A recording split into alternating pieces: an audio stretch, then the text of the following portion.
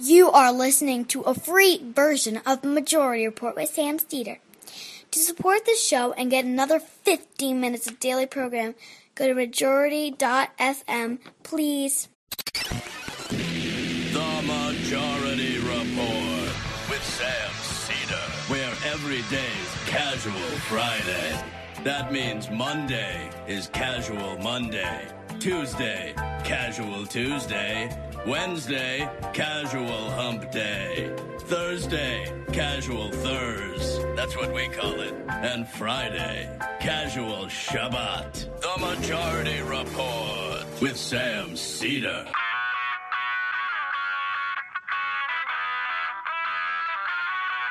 It is Friday, July 19th, 2019. My name is Sam Seder. This is the five time award winning Majority Report.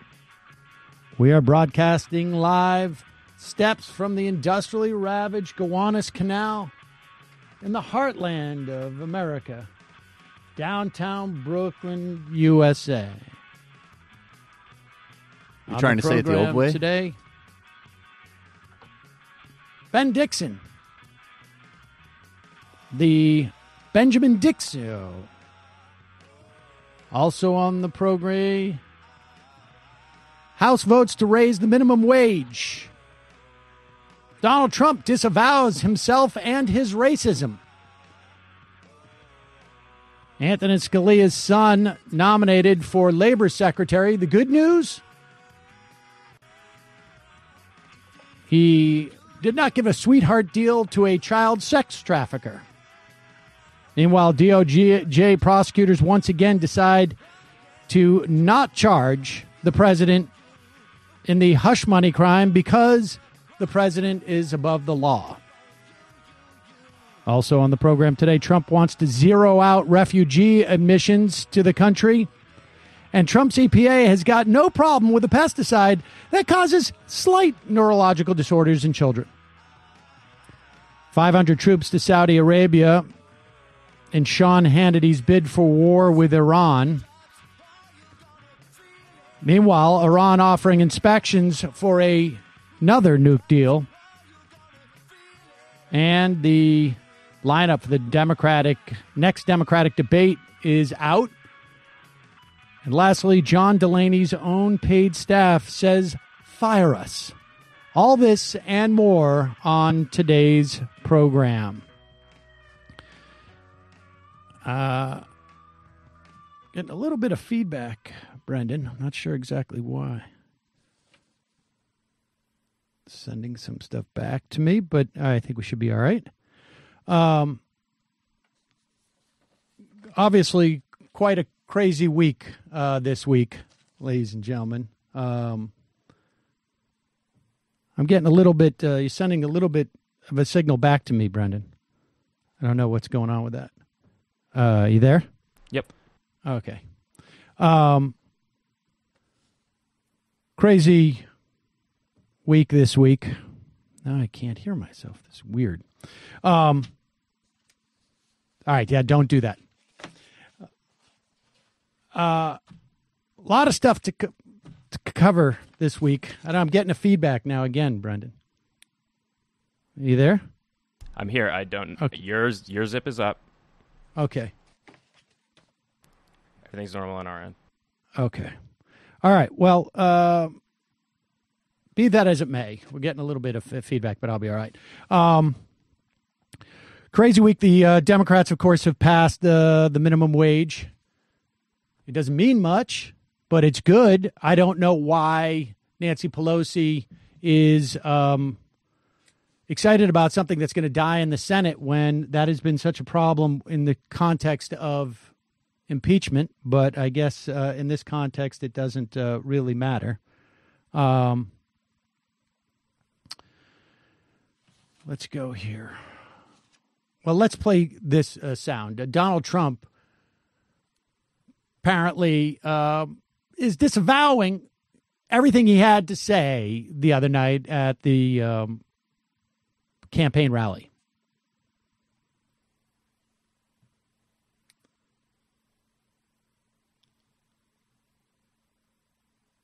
President, if I may, when your supporters last night were chanting, chanting "Send her back," why didn't you stop them? Why didn't you ask them to stop saying that? Well, number one, I, I think I did. I started speaking very quickly. It it really was a loud. I disagree with it, by the way, but it was quite a chant, and uh, I felt a little bit badly about it. But I will say this: uh, I did, and I started speaking very quickly. But it started up rather rather fast, as you probably noticed. There you go. Rather fast. Rather fast. Um, I, I was talking. I really felt bad about it. What happened was it was so fast in the auditorium. And they were speaking about the Jews in a way that was so extra. Yeah, they got uh, way out in front of me. Um, That's what it was. It's almost like we were supposed to wait on that a couple of months. meanwhile, it's not just you know Donald Trump doesn't. Uh, it's not Donald Trump's problem. It's uh, it's also uh, it's his his his his followers that are the problem here. Um, here's a clip of uh, Geraldo trying to defend him. It's clip number four. Go back to where you came from is the old racist trope that all of us, uh, uh, ethnic or racial minorities, have grown up with at various times. It is unforgivable at this day and age, and I, I really lament that it came up. I'm glad the president has said what he said, and I think that the crowds, if you love this president, then don't ever do that again at one of his rallies because what you do is you diminish him. He is the glue that holds our republic together. He is the man that makes e pluribus unum work out of many one. We cannot ever fall back into that lazy kind of the other uh, that uh, that we did for several days. There you go. To be The problem is his followers. I don't want to say to be. I hate the phrase. In fact, to be fair, but I, I, in this case, as I watch that with the sort of like you know the slobbering over Trump, that to me is the, you know, he gets everything from Fox. Please stop doing this message. Not you know. Are you saying Geraldo is yeah, sending that message to? That's my interpretation. I'm, I have no brief for Geraldo, but that's how I read that. Uh, I think Trump. It, it, it's it's impressive that Trump walked it back because you know he enjoyed it. Loved it, of course. It's uh, it's uh, shocking. I still I it's it's shocking, super disturbing. Uh, we'll talk more about that with uh, Ben Dixon. Hey, folks, whether it's a trail of muddy footprints or a pile of dishes after your first barbecue, nothing cleans this like uh, the spring scents from Grove. Grove delivers natural brands you'll love, like Mrs. Meyer's, Seventh Generation, Burt's Bees. Grove straight to your doorstep. And everything is healthier for you and the planet. Plus, it really works. I get a bunch of that. Uh, most of the stuff that we have, the non scented, the non scented uh, hand washing stuff that we have in the office, I get it all from Grove. Yep. What's the name of that? What is it? Is it the seventh generation or what is that? I think that was Meyer's. The one. No, I don't think it's Mrs. Meyer's. I'm not sure which one it Method. is, but it, we get it all from the Grove. Um, now listeners can take advantage of this exclusive spring offer when you place your first order of twenty dollars. Get a free three-piece cleaning set in your favorite limited edition scent: peony, lilac, or mint. I would go with mint. I'm not going to do the lilac or Same. the peony. You know the problem with that. Same. That includes uh, Mrs. Meyer's Spring hand uh, soap, a Mrs. Meyer's Spring dish soap, a Mrs. Meyer's Spring multi-surface spray, uh, spray, a Grove Collaborative cleaning caddy, and a Grove Collaborative walnut scrubber sponges. Plus, get a 60-day VIP membership as well as a surprise bonus gift. Just go to grove.co slash majority to sign up and place an order of 20 bucks or more. That's grove.co, not com, dot co slash majority grove dot co slash majority And also, folks, as you know, it can be hard to find the time to sit down, read a book, and learn more, but there's an app that can change that. It's called Blinkist. Blinkist is the only app that takes the best key takeaways, the need to know information from thousands of nonfiction books, condenses them down to just 15 minutes for you to read or listen to. Blinkist is made for busy people like you who want to get the main points quickly without reading the entire book.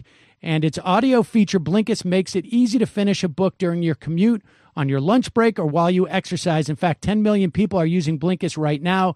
It has a massive and growing library from self help to business to health and history books. I mean, for me, I love it because I don't have time to read, particularly, you know, like the self help books. You don't need all the sinew. No, You want to go straight for the bones. straight to the bone.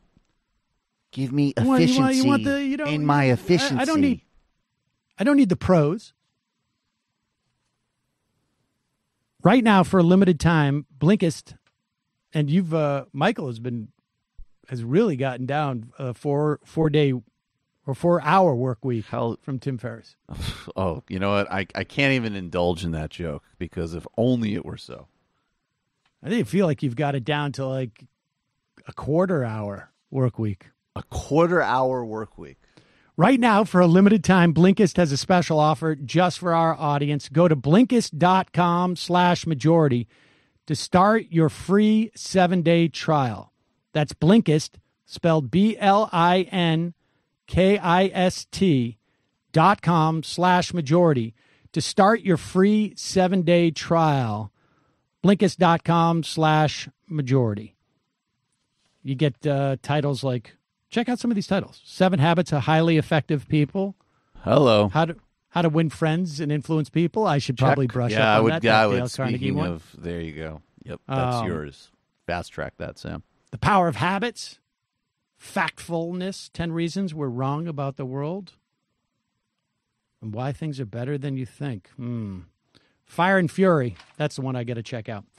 All right, look, we're going to take a uh, quick break. When we come back, Ben Dixon will be with us.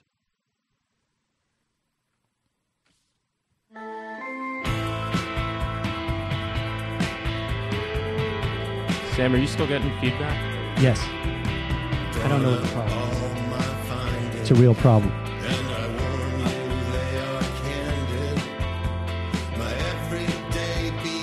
Everything is down on your end.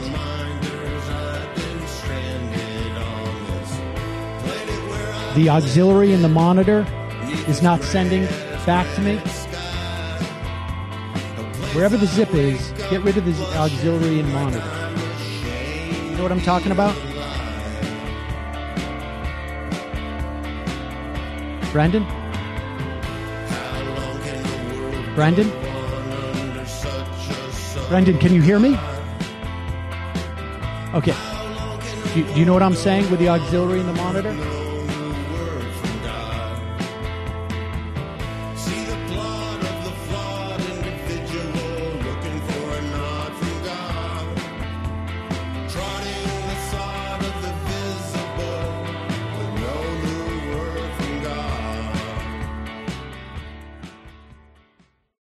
The phone, it's a pleasure to welcome to the program the proprietor of the Benjamin Dixon Show, Ben Dixon. Ben, welcome to the program. Sam, thanks for having me, man. It's always a pleasure. I have no idea where to start this week, uh, Ben. It's been a week. it it it seems like uh, ages ago, but uh, the week started off with Mike Pence basically parading in front of a room full of caged men, uh, inspecting. The, Oh, wow. The the tower. I mean, can you believe that was that was only five six days I, ago? I honestly thought I I would have thought that was two or three weeks ago by now. Um, and it was almost the I think the I, I mean frankly I think it was the launch of the um the the 2020 campaign for for the uh, the the the Trump administration and they rolled out all of the various I guess shades of racism uh, that, that that they have in their arsenal and uh, by the end of the week, I think we basically saw the entire um, the entire campaign play out. Yeah, I, I have to agree. This is definitely the way that they're going to run the entire campaign. And what's what's so uh, wild about this, Sam, is that um, a couple things. Number one, it's effective. It's going to work to a certain degree. Now, whether or not he wins, that remains to be seen. But it rallies is his base and the Republicans um, who might feel a little squeamish about it, they go along with it, and so it's it's really his path towards victory um, if we're not careful. The other side about it is it's so potent that it does have the potential of dividing the country in a way that we've never seen in our lifetimes, um, and and uh, he seems to have no remorse whatsoever, not even this afterthought about what this type of campaign will do to democracy here in this country. Oh God, no. I mean, uh, and we, will play this clip later. I don't know if you saw this clip of um, of Trump talking to this uh, uh, Yazidi uh, woman um, who uh, Nadia Murad, and um, it's. I mean, this guy doesn't care at all. and I, I mean, it, and what I think is really um, sort of stunning is how little it appears that the rest of the Republican Party does. I mean, yeah. I mean, we're we're talking hundreds of lawmakers, and yeah. uh, you got. I think what we have four people who voted with the uh, the Democrats on this condemnation, and I think that was before the uh, that was before the rally, wasn't it? Ben, are you there? Sorry. Yeah, I'm here. Can you hear me? Yeah, you're breaking up a little bit. I am here, Sam. I, I mean, I think that was before the rally, okay, can you hear? wasn't it? Yeah, I do believe that that was before the rally. Um, and um, the, the the fascinating thing about this one, Sam, is that is is that the Republicans not only are going along with it, but they're doubling down on it. Like um, Lindsey Graham, right? For instance, Lindsey Graham is doubling down on Donald Trump's ignorance uh, and on his bigotry, and, and we're finding that like throughout rank and file uh, Republicans who would have at least in, in 2016, prior to 2016, they would have at least tried to give the appearance of not being outright open bigots. Uh, but now Donald Trump has provided sufficient cover for them to just live their best racist lives. Um, it, it, it I, I don't know. It, it's pretty stunning, and I, I uh, we had a uh, an attempt to, I guess, impeach the president or start impeachment proceedings. Uh, proceedings. I guess this is on Wednesday now. I don't know. Time is completely dilated for me. Uh, but it was um, uh, the the motion for impeachment was tabled essentially. It was a procedural vote uh, and it basically um, you know put it to the side.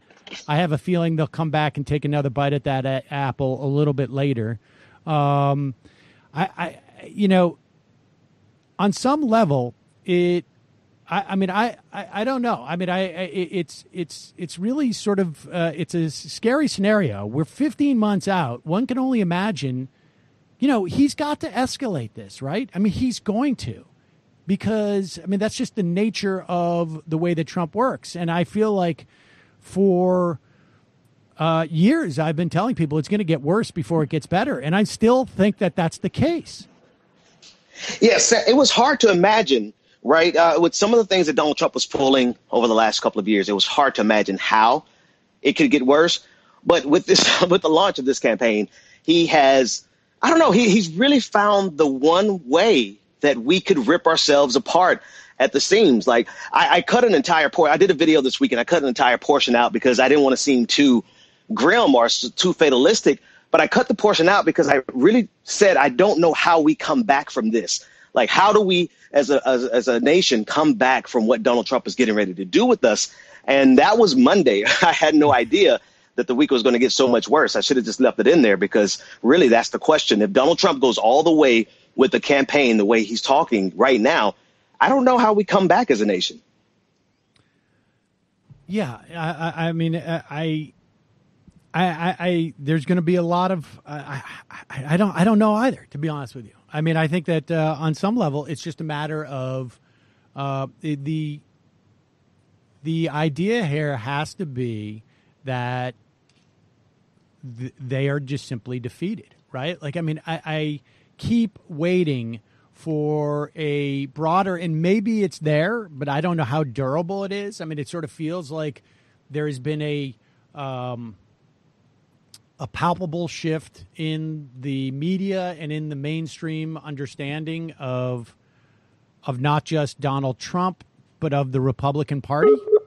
I don't know. I mean, do you do you feel that's the case? Sam, I lost you there for a second. Um, I, I, don't. I, I, didn't catch that question. Do you mind repeating? Uh, I was asking if you thought there has been like a palpable change in the the media or the the the media's perception. I think of the Republican Party.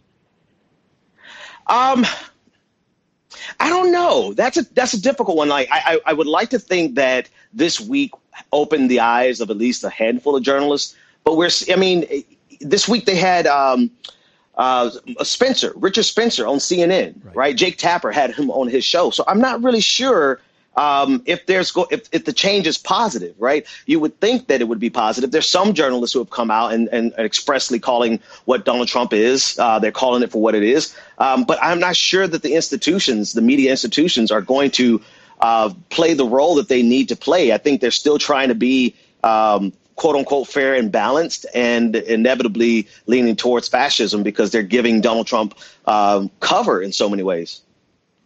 Um, we had another situation where the prosecutors apparently in the um, uh, in, the hush money to um, mm-hmm. uh, you know the paid during the campaign. Apparently, Donald Trump, it was released, was on the phone calls uh, about Stormy Daniels, mm-hmm. and the prosecutors have now you know basically it's clear that to the extent that they decided not to bring charges, it was a function of this DOJ, um, uh, you know, internal ruling, essentially, mm. their assessment from the Office of Legal Counsel. Remember, this is the same office, incidentally, right. that uh, said torture's legal, right? And uh, on some level, and it, you know, I I imagine that this is the assessment of the the DOJ. I it's never been tested at the Supreme Court and I don't know who would have standing necessarily to bring this question to the Supreme Court. I imagine we won't hmm. find out until there's a Democratic president and the Republicans right. try and do this. Um, right. But where I, I mean, you know, there's been different times where I feel like over the past couple of years, and, and certainly, you know, after the first like month or two, um, I, I was a little bit less concerned. But you start to really see the creakiness in our system. Mm. Yeah. And, you know, this week, after Donald Trump came out and made those statements about Ilhan Omar, uh, Bill Barr came out and said basically the exact same thing in much more, I guess, polite words. And I hmm. don't know if you mm-hmm. saw that, but no, the combination of Bill Barr uh, coming out and doing that and basically saying like, "I am Donald Trump. I am defending yeah. Donald Trump, the individual, not the institution of the president."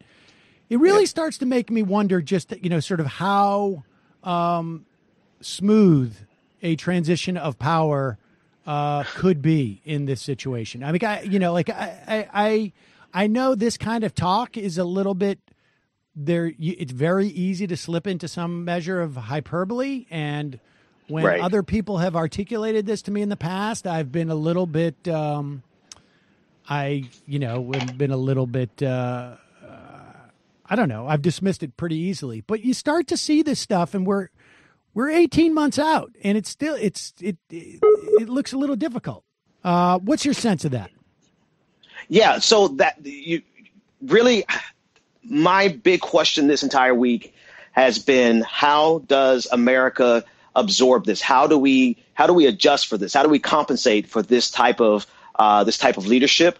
Uh, because we see now the, the, the, creaks that you mentioned that are in our system.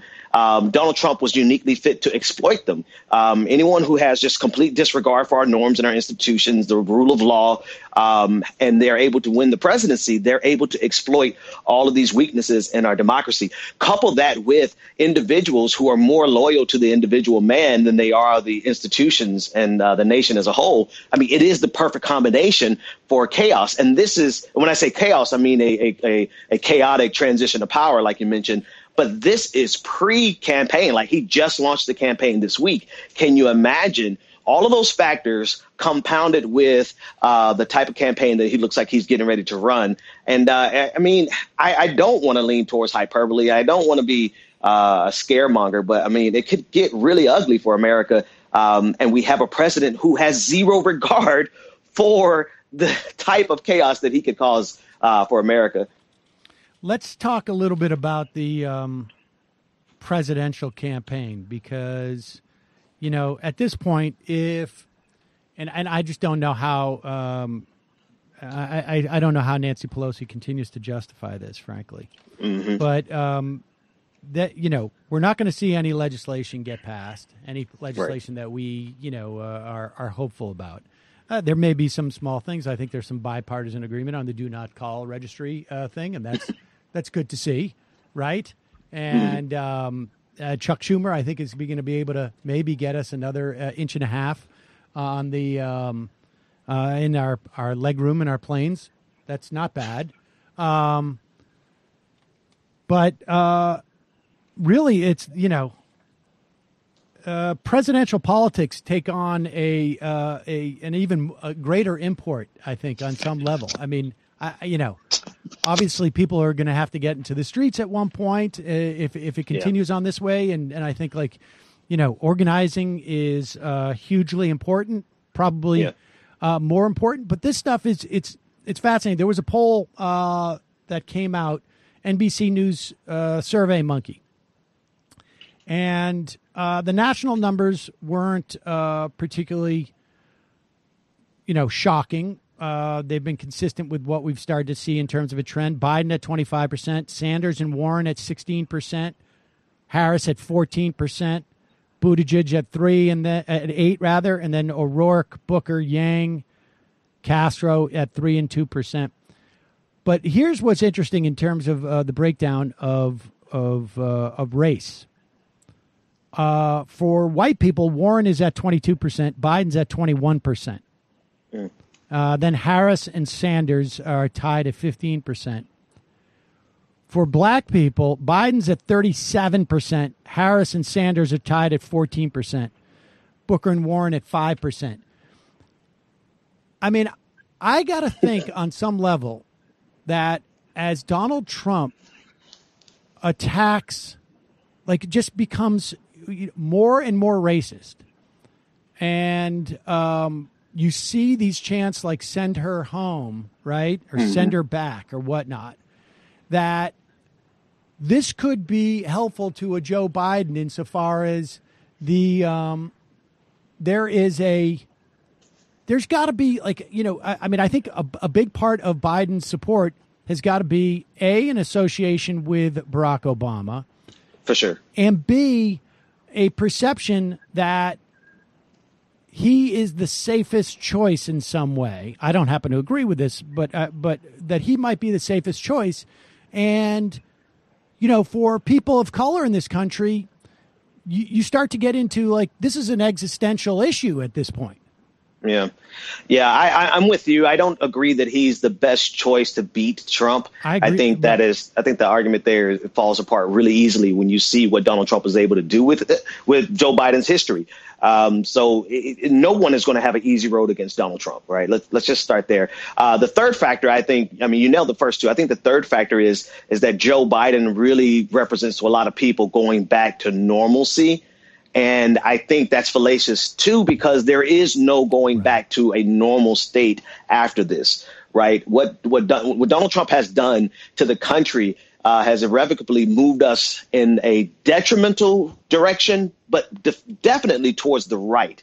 I mean, if we there is no going back to normal when he has had over hundred judicial picks um, that are all probably sycophants, right? Um, his impact on the Supreme Court, uh, his impact on the national discourse, like there there really is no going back to normal. So if people are looking for Joe Biden to be the safe bet and the bet to take us back to normal, I think that's a really bad bet. And I, I think the the primaries are going to flesh that out for us. I think we're going to see a lot more.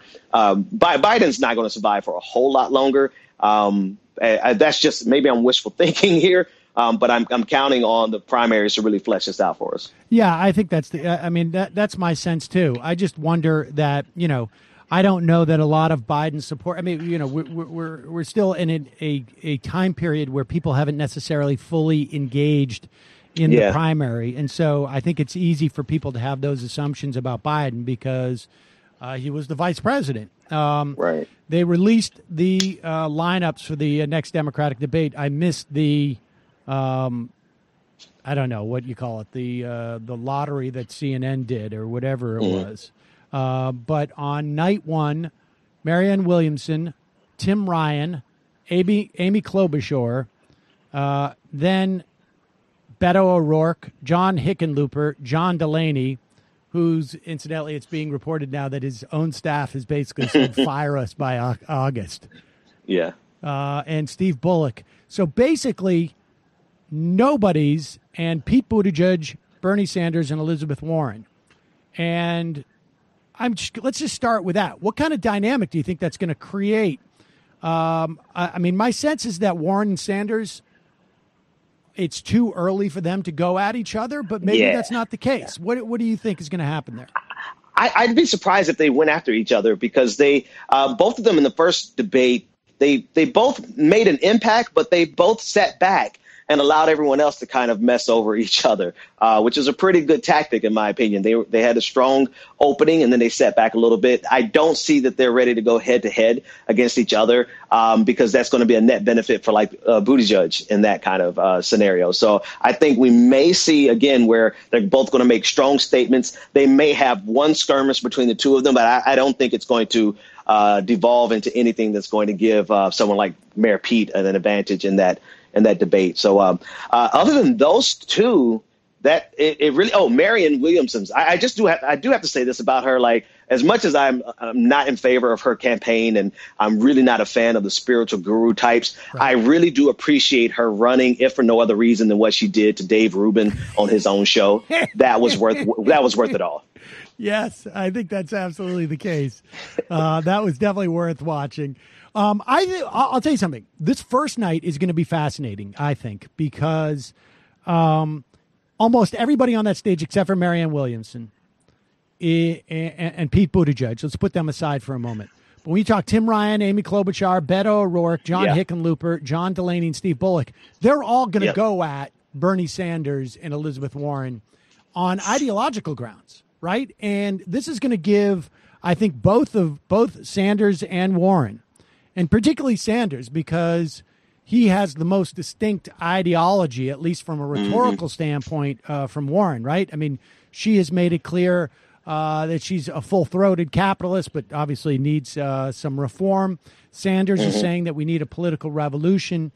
This is going to be, I think, um, a huge opportunity for the left of the Democratic Party. Yes because yes, like absolutely. they couldn't go against you know here's the thing sanders doesn't want to go directly at joe biden in the first debate because some of uh, biden's supporters have to come to sanders at one point right but they're going to be on stage with people who between one two three four five six of them they don't even have i think 10% of the vote right and yeah. so he's going to go up there, and, and, and, and Warren, I imagine, to some extent as well. And they're going to have to, A, they're going to have to defend the, the left. And I think they're, they're, they're going to want to do actually even more than that. I think they're going to take this as an opportunity to Absolutely. really uh, explain why we need, we cannot go back to the era of John Delaney and whatnot. And there's no cost for them to go at these guys, not necessarily as individuals. There's no point, right? But to go at their ideology because they will all be surrogates for Joe Biden.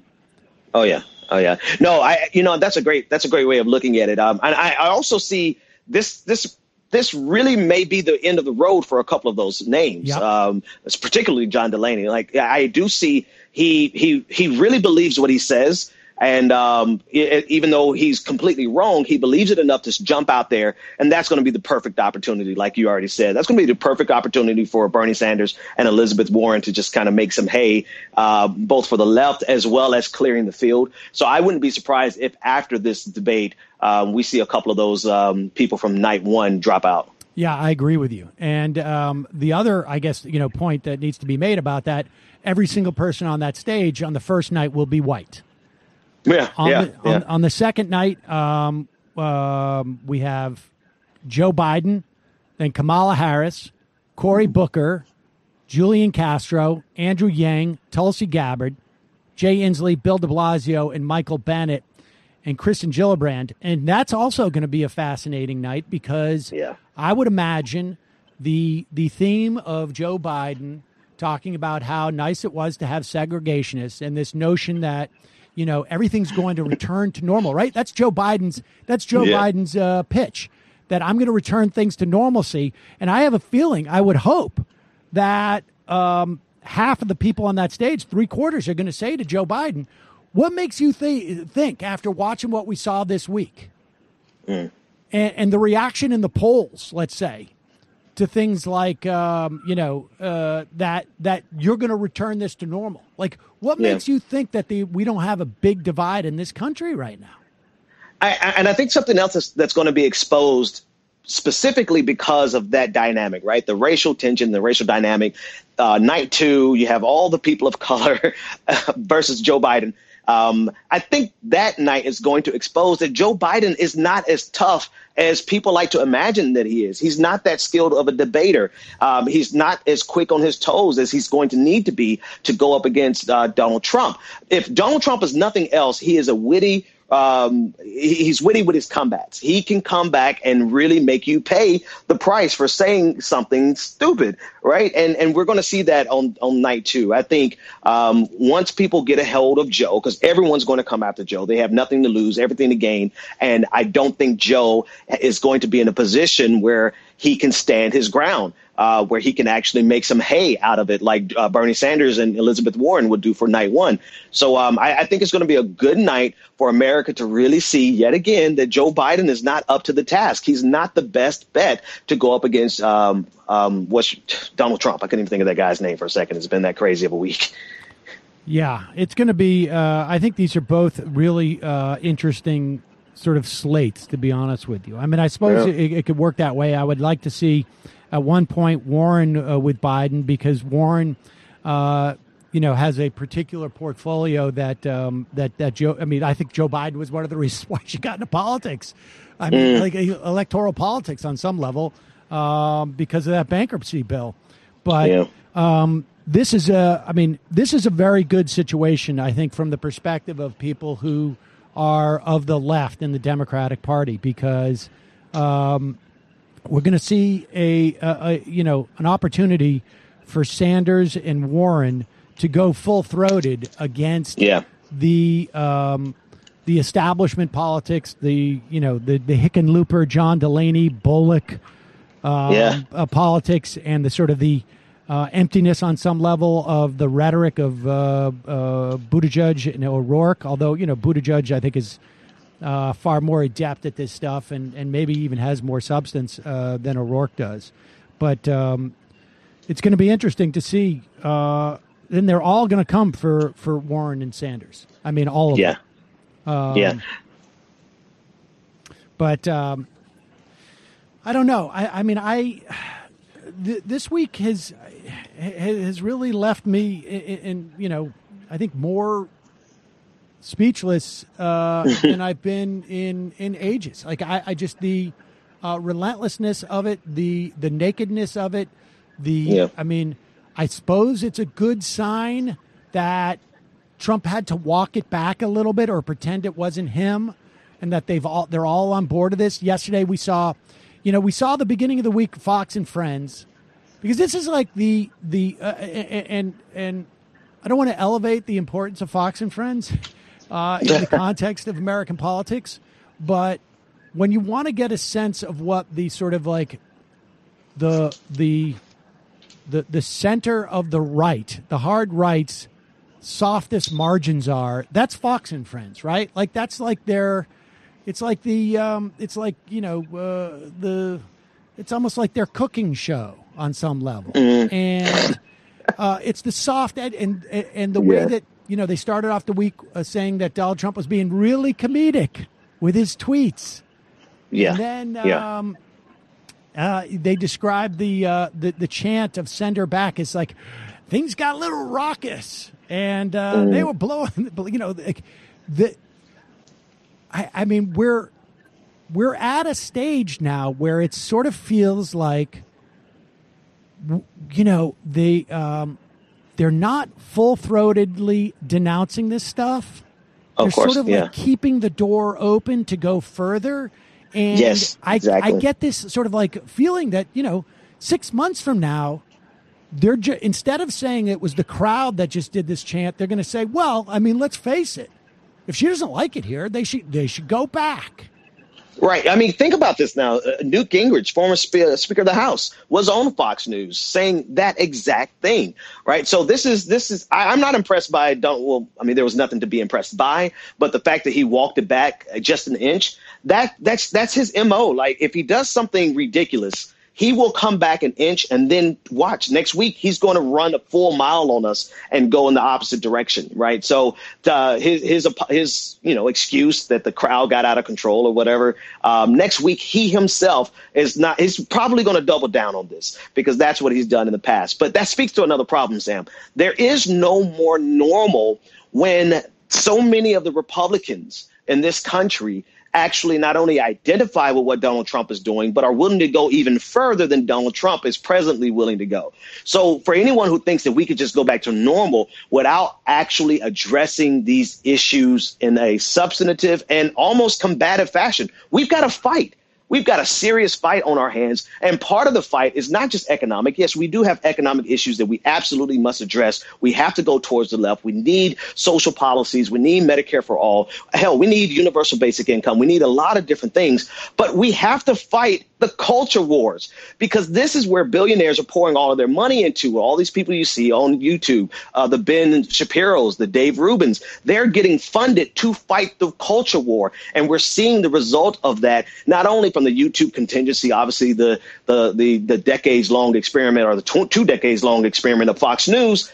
It has all been about the culture war. And we have a significant portion of this country that not only buys into what Donald Trump is saying, they want him to go further. And there's no going back to normal if you're not ready to fight that head on. There's only a new normal that can be had after this. Well, you know, uh, Andrew Breitbart, um, who you know, folks like uh, Shapiro uh, was spawned of, I guess, on some level, and yeah, um, and uh, of course, you know, Bannon came in and was uh, more or less a partner of his, the Mercers.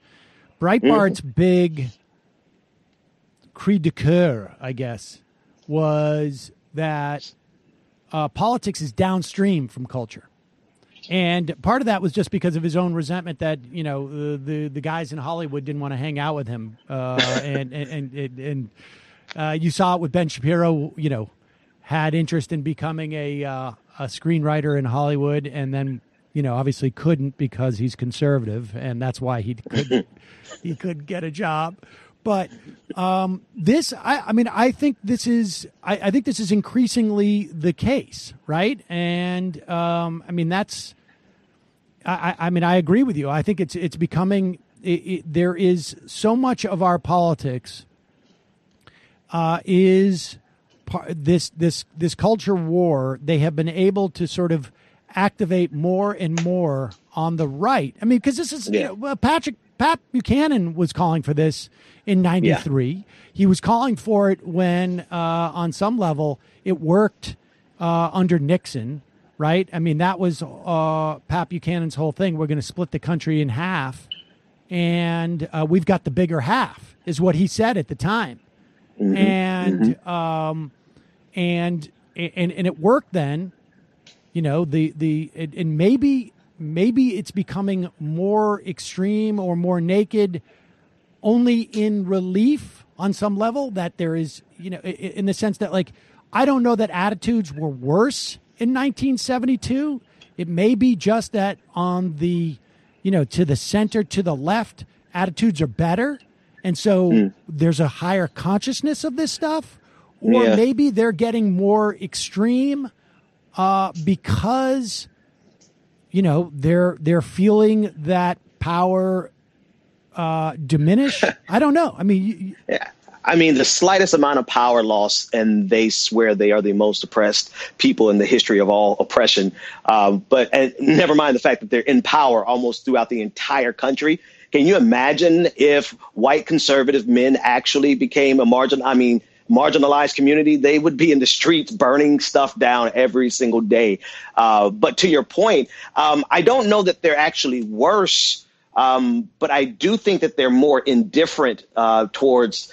Well, actually, let me let me start that over. I think there are less social ramifications because their reward structure, they have an entire reward infrastructure uh, that that actually rewards them for this type of behavior. I don't think that infrastructure was there as much in the 70s or the 80s, um, where you could maybe you don't win an, a, a, an elected office, but you get yourself a nice commentary job making $300,000 a year uh, if you can go out and say the most salacious and outrageous thing. Uh, so now they can be rewarded for their bigotry in a way that we went through a slight period. I mean, it was really just a really brief period in American history where you would be penalized for your open bigotry. I think we're in a place now where you could be rewarded because that country that they divided in half has all types of spoils to give to them.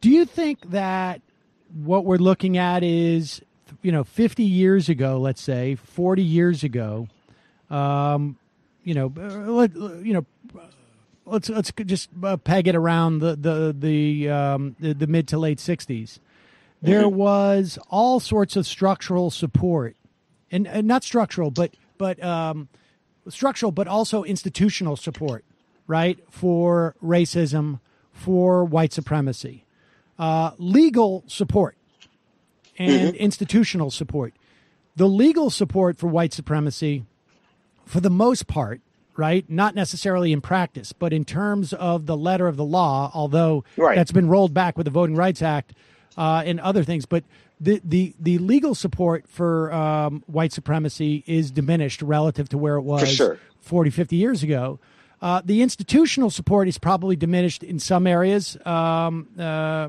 maybe maybe across the board, but it's still pretty prominent in some other areas, like policing, for instance, and Yeah, for sure. uh, the carceral state.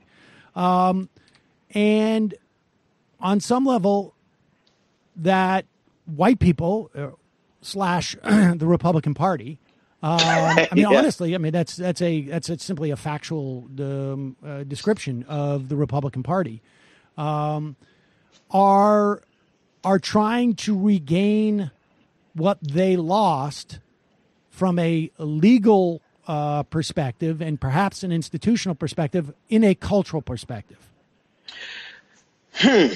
I, I, well, I, I, yes. Okay, I think I pieced it together. You're saying what they lost institutionally, they're trying to make up culturally, right? Um, and and I think that they've done that. They they are successful in that they have a system. I mean, we talk about this all the time. They have a structure where they could take a no name nobody and they can elevate them to national prominence in a matter of a few days. Uh, you know, um, and so they have the cultural impact. They have these structure. They have they don't have institutions. They don't have legal institutions anymore, but they do have private institutions. They do have uh, think tanks. They have uh, outlets like PragerU and and the Heritage Foundation. You know, all these organizations. I mean, countless organizations that can enrich someone and reward them for being able to make inroads in the culture war. If they can find right now, their their latest move is the move towards um, uh, the pe- you know collecting all of their people of color to do this work, right? Because that's far more powerful than a white person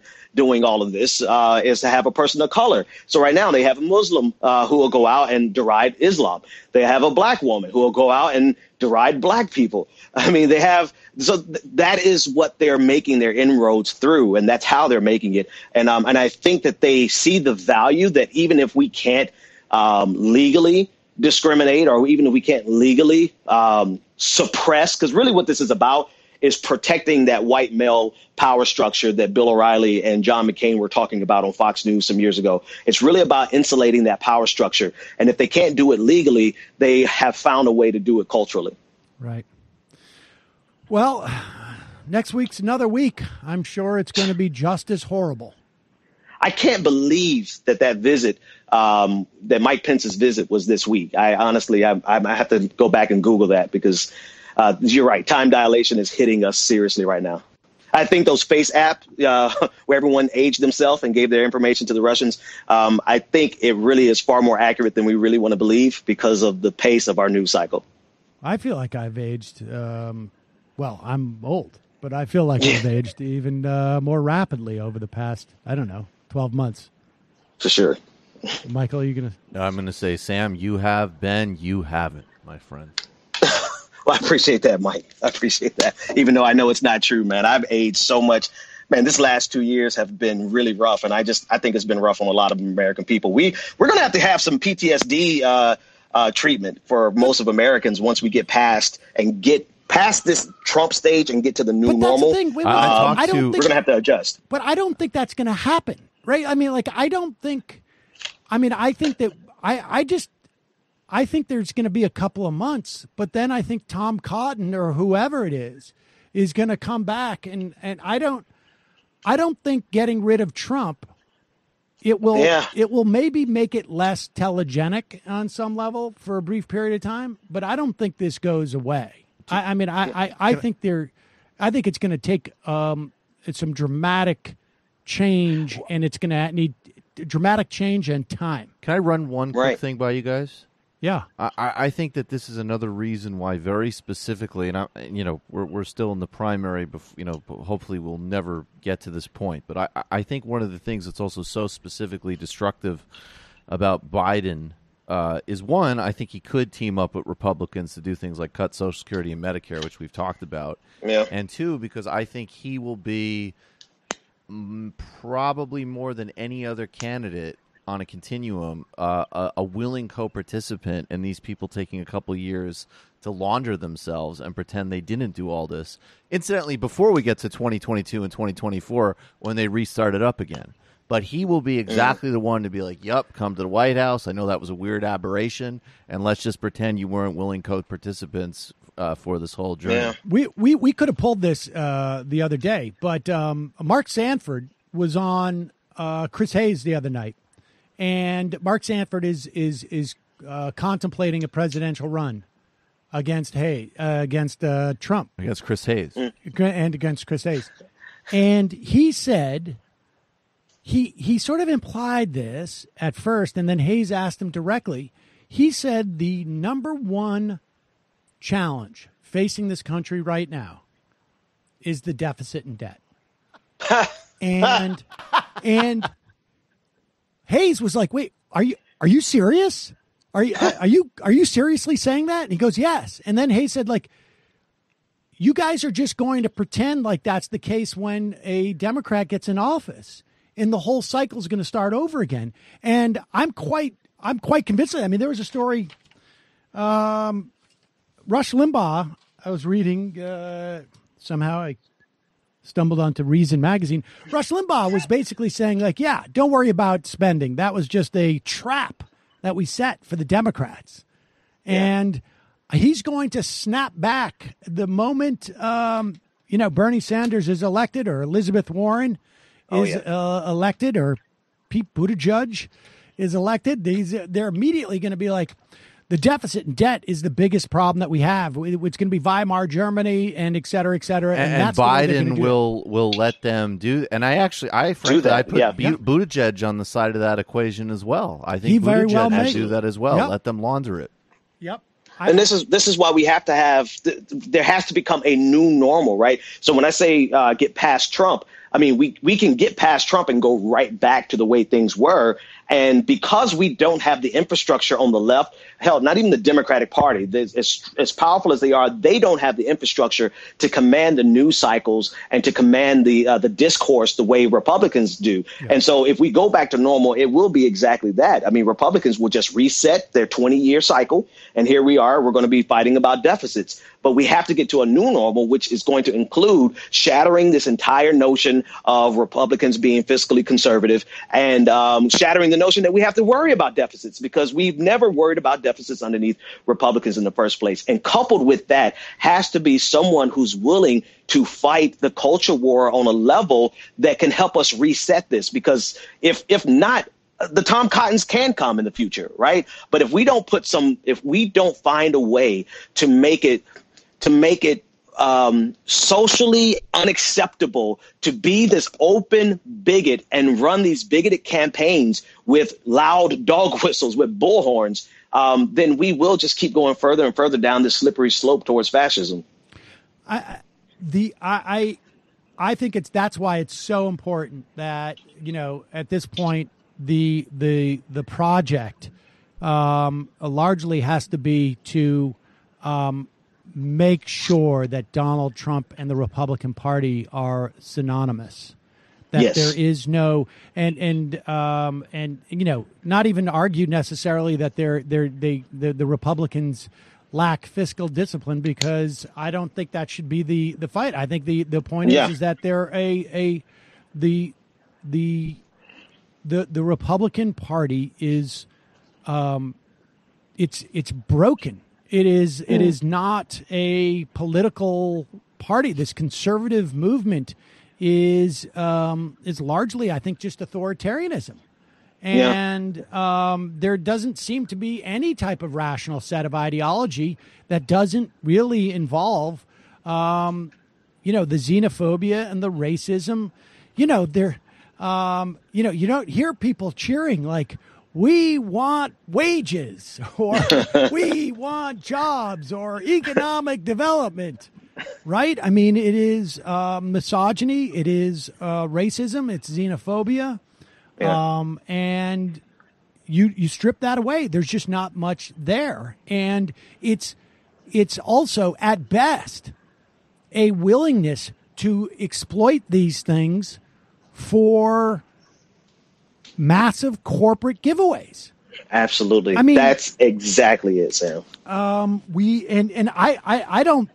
I think that's a distinction in many respects, without a difference. If you're willing to um, just walk by and parade in front of a cage full of men who who haven't, you know, who've been denied showers and a place to sleep for 40 days, so that you know the EPA can uh, allow um, yeah. you know pesticide companies to use something for uh, that that that hurts kids' neurological development. I mean, you're a, you're a racist, and on yeah. top of that, you know, you're racist plus.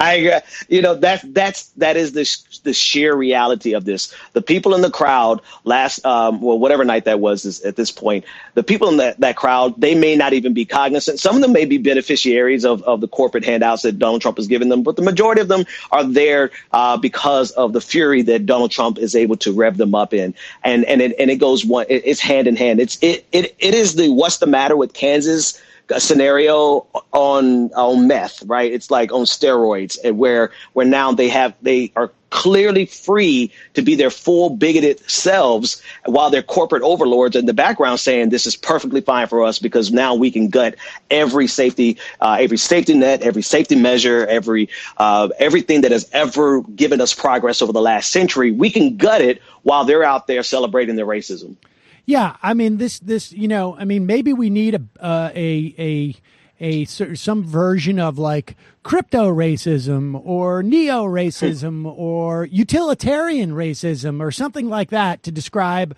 you know, uh, Donald Trump is really a nice guy at heart. He's not really a racist. Um, Mitch McConnell is not really a racist. They're just using racism and uh, misogyny to, you know, um, provide tax cuts uh, for their people or to, um, to, I mean, like, just for the sake of of bringing people on board you know, maybe you need to put like some type of qualifier on the racism so that people feel more comfortable with it. Like, hey, we're not burning crosses on anybody's house. We're just basically exploiting uh, the the um, the impetus to do that to uh, achieve corporate aims. Yeah, I, I guess my only question with that would be like, who who would we win with that argument? Only because they have a full throated acceptance of racism on the on the right, and then we have um, kind of this uh, this milk toast um, uh, approach from from from um, Nancy Pelosi, from from uh, Joe Biden. I mean, the centrist Democrats. I, I, don't know that they would even be moved by that argument, um, just simply because of how they're reacting to Donald Trump. But the sentiment is 100% accurate. I mean, you're absolutely right. Can I just real quick one other just thing on this? Uh, that actually though correlates with calling out the disingenuous and and really and sort of ch- you know trash pseudo identity uh, things that are marshaled by disingenuous mm. Democrats as well, because the whole context of part of the drama with the Twitter account and the and, and clearly them trying to get the AOC staffer fired was that he said if you're a Democrat and you voted for a border funding bill without any accountability for the border system, that is functionally a racist vote, among many other things. And they went to immediately, well, Sharice Davids voted for it, and she's Native American and the most, you know, crass identitarian nonsense. And he responded and he said, well, you can be of color or yeah. any identity and in fact enable a racist system and that is actually the deeper point and that will implicate a lot of democrats as far as i'm concerned Absolutely. I, I mean, and that's self evident, right? I mean, Clarence Thomas. well, that's the other thing. Well, they always want to. Well, people want to always. I'm not saying that Sharice Davids. I'm not. I'm not. I'm not comparing um, uh, Sharice Davids, but it's on a sliding spectrum. Yes. Right. Like, yeah. and and there's plenty of data. I mean, this. Uh, you know, the uh, we we've talked about this. Uh, I mean, Eddie Glaude's book. You know, sort of walks through the the notion, and and others that for that matter, that white supremacy is a practice and uh, it is something that uh, it's not you know uh, white supremacy can be practiced by uh, any member of any race. Uh, you're you, you're conditioned in certain areas. I mean, uh, you have certain other agendas, but um, it, it doesn't get worse than what we see. Well, let me put it this way: it's yet to have gotten worse than we have seen this week in politics, at least in this in, in you know the past couple of decades. I think it's um, I think we're going to see it get worse. Uh, so, Ben Dixon, uh, appreciate your time today, buddy. Uh, always hey, a pleasure. Always, always a pleasure. Thanks so much, Sam. Mike, take care. Bye bye. Take care. Good to talk to you. It's actually nice to. Thanks for letting me jump in a little bit. I miss uh, talking to Benjamin. Well, you're you're welcome, uh, Michael. Everybody's calm down. Uh, folks, we're going to head into the uh, fun Post-roll. half in a moment. Yes, I've got it right here in my nice. hand. Um, we're going to head into the fun half. I want to remind you this episode brought to you by Blinkist. The Blinkist app takes the key takeaways, the key takeaways from thousands of best selling nonfiction books and condenses them into 15 minutes. You can read them or you can listen to them. You can read like three or four self help books just on the uh, treadmill alone.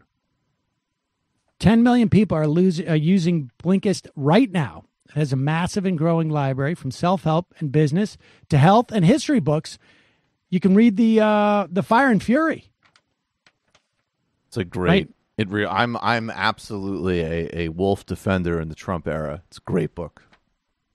Right now, you can get 25% off your first year at Blinkist. 25% off your first year at Blinkist.com slash majority. That's Blinkist.com slash majority. All right, folks, uh, just a reminder this program relies on your support. You can support this program by becoming a member at jointhemajorityreport.com. Uh, for just pennies a day, support the program. And as a way of saying thank you, we give you um, extra content every day. We are going to be covering the uh, debates live. That's going to be in a two weeks, I guess. Um, also, uh, justcoffee.coop, fair trade coffee, tea, or chocolate. Use the coupon code majority, get 10% off. As uh, Dorsey was discussing uh, earlier, um, check out the AM Quickie. We've been sort of reshaping it and. Do you like how I took that opportunity to turn that into a nice little plug, Sam? Yeah, that was Yeah, very well done. There you go. Um, the uh, good things rise out of the tech problems. There you go. Um, yeah, folks, uh, check it out. If you have feedback, send us an email at majorityreporters at gmail.com. We have already made changes uh, based on your feedback. We will make more. And it's the show's only going to get better. I mean, we started out, and I um, fully subscribed to that. Um, I mean, part of it's like that Tim Ferriss stuff from Blinkist, where it's just like, do it, make it perfect later. Definitely. That's my that's my new mantra. I don't have time to make anything perfect anymore. Um, that's basically what I did too with my kids. Just Uh, you know, some- thank you for doing that because I was just kids. about to make a parenting joke about you, and I thought that would be a little over the line. So I appreciate that you did it yourself. Thank you. You're welcome. Because it needed to be made. It was sitting there. Yeah, no, I no longer worry about dropping the ball with the kids anymore. I'm just you know what, Saul? Practice makes, well, further mistakes. Anyways, what are you going to do? No, no, I tell them to practice. I just say that like I just basically say like, look, as long as you guys are fed, more or less, we're fine. I'm doing a great job. Sam, I just picked up a copy of uh, your. You, I think you just sent me a copy of the four stages of highly effective crisis management: how to manage the media, the digital age. I, I thought it was literally the, the crisis in the office. Well, that's the point. I think that's the joke, and that tells you how to how to do the um, how to do the feedback uh, loop on the on the board. Um, Michael, uh, today is Friday. That means that someday during this past week, the Tuesday must have happened. Tuesday was great. We talked with Daniel Bessner about reinventing human rights, the troubled history of so called humanitarian intervention going back to the Balkans. I just will say quickly this Sunday, we have an illicit history of the Communist Party in Sudan and a primer on what's happening there right now with Ahmed Kaballo, who's a Sudanese journalist. His father's on the Central Committee of the Sudanese Communist Party. It's fascinating. Next Tuesday, Krystal Ball and Joshua Kahn. Uh, Michael Brooks Show on YouTube and patreon.com slash TMBS. Krystal Ball. Krystal Ball. I haven't run into her in ages. Actually, uh, I'll be on her uh, her Hill show on Monday morning. Is it the Hill that that? that yeah, the Hill on? has the Hill. She hosts a show, uh, Rising for the Hill. It's it's it's good. It's actually it's a good um, it's a good morning. It's like it's it's not it's not a brief. It's a full morning show. It's a good morning. Oh, in other show. words, it's not competition with the A. yeah, I was gonna. I was about. I was. I was. I was checking myself there for a second, Yeah. but it no. It's it's very. she do it with? That guy Buck Henry or somebody? Not Buck Henry. I don't think so. I'm pretty sure it's not.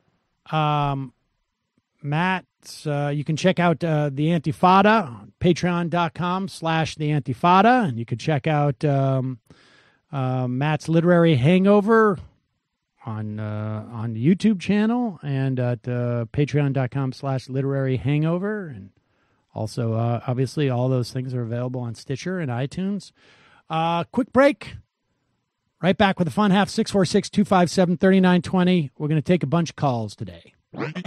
You are in for it. All right, folks. 646 257 3920. You're down, Sam. See you in the fun half. Are you ready?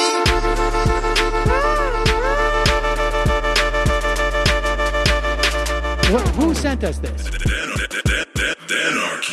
Alpha males are back, back, back, back, back. Boy is back. And the alpha males are back, back. Just as delicious as you can imagine. The alpha males are back, back, back, back, back. Back. And the alpha males are back, back, back, back. Just want to degrade the white man. Alpha males are back.